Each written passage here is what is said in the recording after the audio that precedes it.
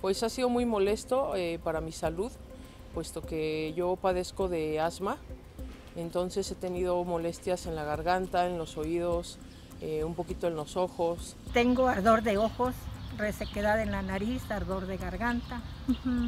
Entonces, pues eso me ha llevado a tomar otro tipo de, medidas precautorias sí, para evitar este, posibles enfermedades.